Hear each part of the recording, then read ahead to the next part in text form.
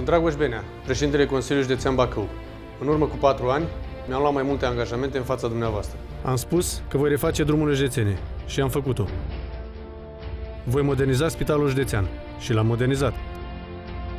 Voi susține educația și în fiecare an elevii au avut rechizite noi. Am promis că voi proteja mediul și am învățat pe copii să iubească natura. Pe 10 iunie susține USL. Votează Dragoș Benea, președintele Consiliului Județean Bacău.